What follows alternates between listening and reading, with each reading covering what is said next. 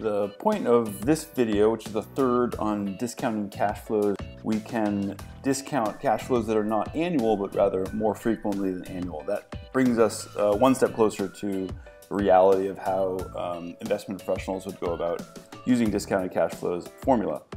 So we, we remember the formula, hopefully, which is that the um, present value of cash flows is equal to the future value of cash flows divided by 1 plus y, and that 1 plus y function raised to the power of n. That all works great when we have um, the value of all these things, the present value.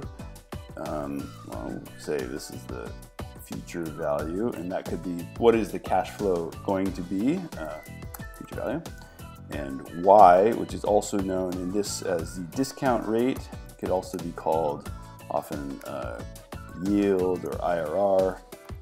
And N, we have previously said represented time.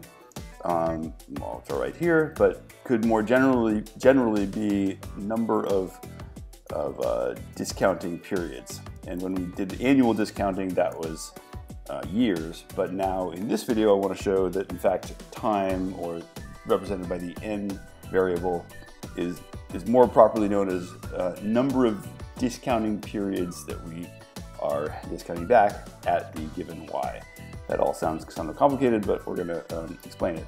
Now, actually, we're going to take this um, formula here and add an additional variable, which I'll call p, and I'll label it in a moment. But p is essentially uh, takes an annual discount rate or annual yield and makes it work for non-annual discounting by dividing by p, and p is simply, uh, here I'll put it here, number of times per year that we need to discount. Uh, and again, that sounds a little abstract, but what that really means is if uh, the cash flow is not once a year, but rather four times a year, then the P is going to have to be, uh, you guessed it, four. If the number of cash flows per year that we're discounting is going to be six, P is going to have to be six, et cetera, et cetera. Uh, a typical bond works this way, so I'm going to use the example of pricing up a bond using uh, non-annual discounting. And bonds typically pay twice a year. So the P in that case is going to be uh, 2. It will divide the annual yield number by 2. So instead of having a 10% yield, for example, we have, a, we have 5, the y over P. Uh, and then N just takes the how many um, how many uh, discounting periods do we have total? Again, uh, the example is probably the best way to go about doing this. So I'm going to price up a bond which is worth $100,000 and figure out what is it worth um, today. This is the central function of people who are involved in the bond markets uh, um, and investment. The investment community uh, does this as the kind of a core skill of how, what are things worth. Okay, so now I need to set up a series of payments, and I'm going to call this a, uh, let's say it's a three-year bond, which traditionally pays uh, five five percent per year uh, as a coupon. We call that a five percent uh, three-year bond, and it looks like this. Let's see if I can set it up so that you can see a series of uh, payments, and this is the payments. And actually, well, let me be more specific. This is called uh, right here interest payments. And bonds consist of interest payments and principal payments. And this is going to be a very typical bond structure. Just shorten this to interest and principal. Total payment. And then we're going to present value it over in this column here. Okay, First off, if you have a $1,000 bond, a $100,000 bond, which I've created, uh, and it pays 5% per year, what you actually get is an interest payment every six months of $2,500. So it looks like this. So you are going to be paid 5% of 100,000, but it comes in two installments at six months and at one year, and then this is one and a half years. Uh, this is, whoops. Years, this is two years, this is two and a half years, and at year three, you get your final, label that, at year three, you get your uh, last interest payment. And the principal payment comes at the final moment. So we'd call that maturity of the bond. And in total, I'm just going to sum up this column plus this column so you can see how the structure of a bond works is you would get uh, $2,500 uh, every six months and then you get a $102,500 uh, at the end of the third year. Okay, now the reason I've set these all up is I want to create a uh, discounting cash flows formula which will tell me what the total um, present value is of this bond, which I'm going to put into here. So I'm going to sum up, I'm going to set this up so I can sum up these six future cash flows that occur in the interims of six months, one year, one and a half, two years, two and a half years, three years.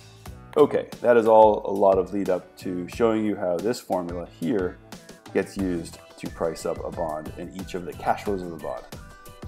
So I need to follow what this formula is in B2, and I'm going to do it this following way. I'm to say equal sign, tells Excel that we're about to do some math. The future uh, payment of $2,500, then I divide that by 1 plus the yield, and I have not set up a place for me to make those calculations. Hang on one second. We need to set up a little point where I can input pieces. So let me show you what I'm doing that. I'm going to say the yield here is 5%. The number of discounting periods uh, overall will be determined by actually that. And the number of times per year uh, we already know is two. Um, so we'll say that that's that because bonds pay twice a year. Now I can reference, I just put those there so I can reference those cells in my formula.